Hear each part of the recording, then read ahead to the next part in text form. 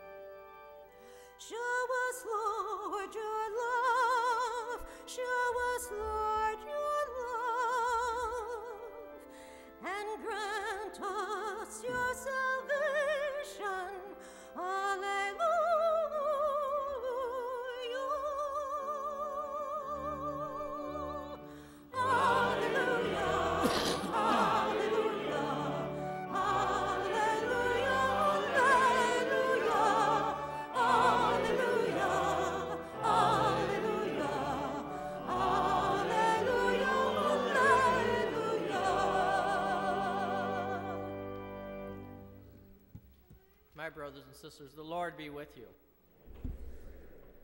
A reading from the Holy Gospel according to Mark. Jesus said to his disciples, Be watchful, be alert. You do not know when the time will come. It is like a man traveling abroad. He leaves home and places his servants in charge, each with his own work, and orders the gatekeeper to be on the watch.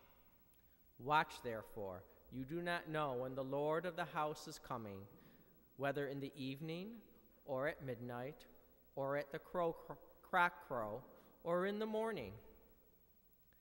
May he not come suddenly and find you sleeping. What I say to you, I say to all watch. The Gospel of the Lord.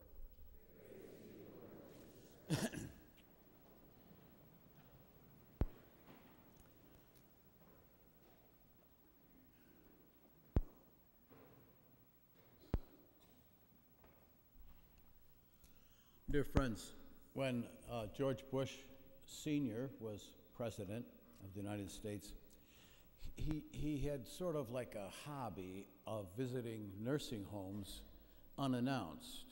He would simply show up with his security detail.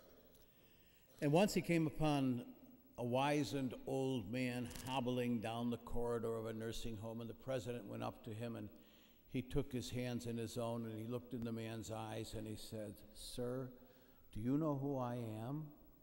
And the man replied, No, but if you ask one of the nurses, she will help you to remember.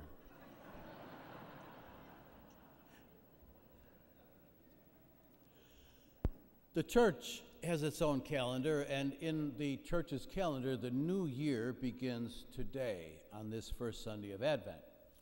And in order to understand Advent, you, of course, need to understand Christmas.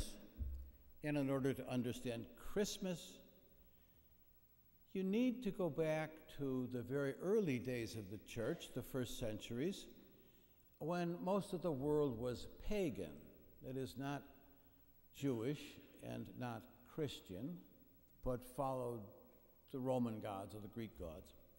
The pagans saw the world as a great struggle between the powers of darkness and the powers of light. And they noticed that at some times of the year, darkness seemed to be getting the upper hand. They were watching, as it were, two, two cosmic wrestlers. And every once in a while, the wrestler called darkness would pin down the rest are called light. They noticed this because at this time of the year, the days were getting shorter and shorter.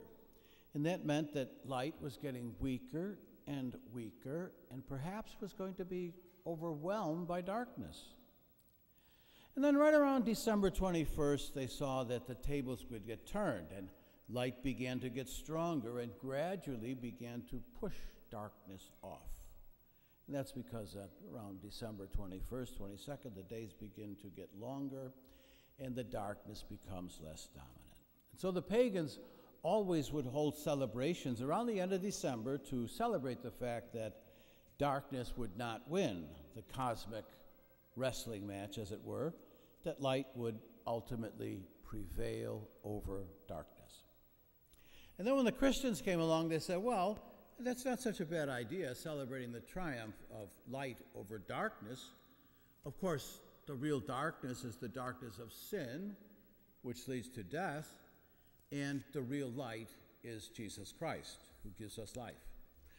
And since no one really knew what day of the year Jesus was actually born on, they decided to celebrate his birthday right in the middle of the celebrations of light. They called that day Christ Mass, or as we say now, Christmas.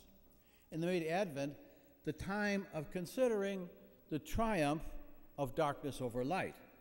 The Advent is the time to think about darkness and light and prepare to celebrate the victory of light over darkness. And so on this first day of Advent, the first of 22 days this year, I want to pose a question to you. Where is the darkness that needs to be overcome by light? And I suggest you look in two places. First place, in your own life.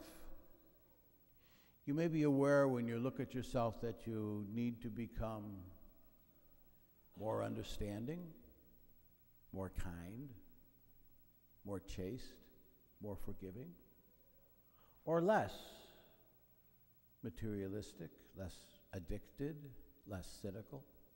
What dark things in your life would you like to see reversed? And secondly, um, look around you. Your family, your friends, the people who make up the fabric of your, of your daily life. And recall something that I think we forget way too often that we have, well, probably more power than we realize to bring light into the darkness of other people's lives. So we do it very simply by a courteous note, uh, by an apology, by words of forgiveness and understanding, or by emulating George Bush and visiting a nursing home. You get the idea. Many young people at this time are busy making a list.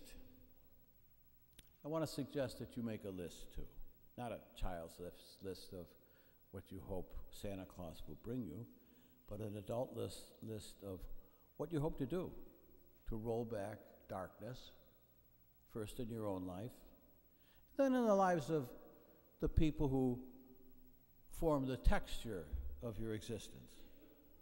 We live in darkness, others live in darkness. We can roll it back, we can help the sun to shine, we can make the day brighter. Let your light shine before others, Jesus says. Advent is a good time for this to happen. A new year, a new beginning, a time when darkness begins to ebb, and a time when the sun